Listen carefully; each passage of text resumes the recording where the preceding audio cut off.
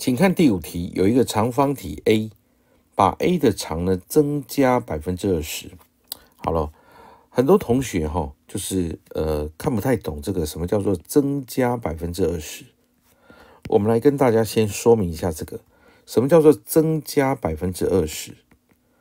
所谓的增加百分之二十，不是只剩下百分之二十，不是哦。假设说它原来是一百公分或者什么。单位都可以，原来是一百，什么叫增加百分之二十呢？增加一百的百分之二十。所以呢，我们有时候会说哈，这个这增加百分之二十一定超过一百的。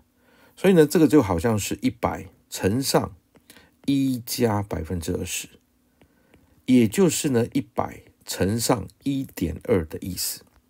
所以呢，什么叫做增加百分之二十？就是。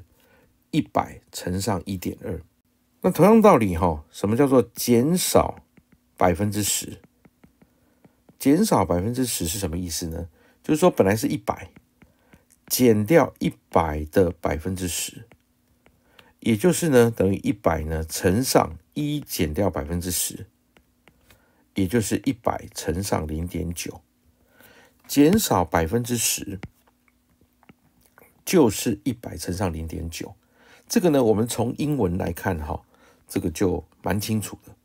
减少百分之十就是百分之十 off，对不对？百分之十 off 就是打九折的意思。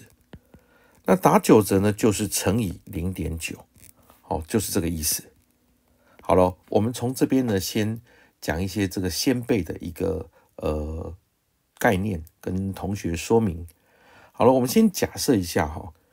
原来这个长方体呢，叫做是 A 这个长方体。我们假设呢，它的长、宽、高分别是 A、B、C，长是 A，宽是 B，高是 C。所以呢，这个 A 的正方体，它的体积就是 A 乘以 B 乘以 C。好，那接下来看 B 正方体。这个 B 正方体呢，是把 A 的长度增加百分之二十。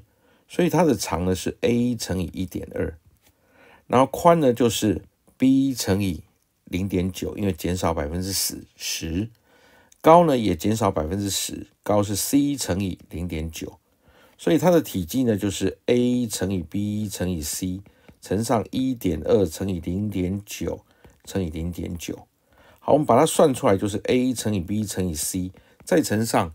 一点二乘零点九再乘零点九是多少呢？就是零点九七二。所以我们就知道，从这个地方你就知道，这个 B 呢，它的体积是比 A 还要小，因为这个 A 的体积是 A 乘以 B 乘以 C，事实上就是乘以一的意思。所以当然呢，你这个乘以一呢，当然比零点九乘以零点九七二还要来得大，乘以零点九七二一定比乘以一还要来得小。那我们继续再看这个 C，这个正方体 C 是这样哈，它的这个长呢减少百分之二十，所以它的长是 a 乘以零点八，打八折的意思。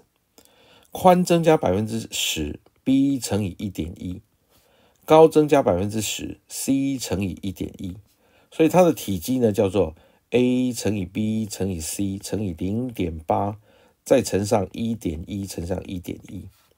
那我们把它算一下哈，这个就是等于 a 乘以 b 乘以 c 乘上零点八乘一点一乘一点一等于零点九六八，所以呢，马上就可以很清楚的知道，它就是原来 a 乘 b 乘 c 的零点九六八倍，当然就比 a 小，所以我们最后就比较这个数字，我们就知道哈，这个 a 的体积呢是乘以一，所以 a 的体积最大。